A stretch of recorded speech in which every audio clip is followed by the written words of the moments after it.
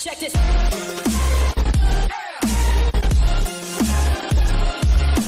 bienvenue dans cette nouvelle vidéo. Aujourd'hui, on va jouer à Fortnite Battle Royale. Et dans cette game, j'ai trouvé le nouvel item.